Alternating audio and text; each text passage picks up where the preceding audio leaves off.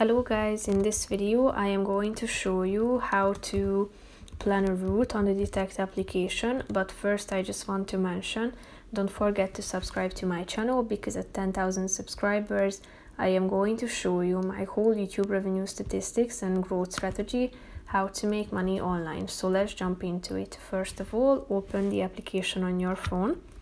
After that, you should tap on the profile button down below in the right side corner of the screen and then you should uh, tap on the third button in the middle of the screen.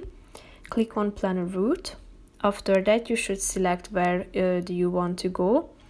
So type in the name of that city and the uh, relevant address.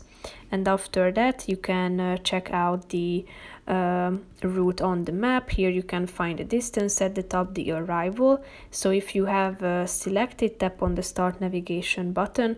Drive northwest can, on uh, Varga Kadatka then turn right on.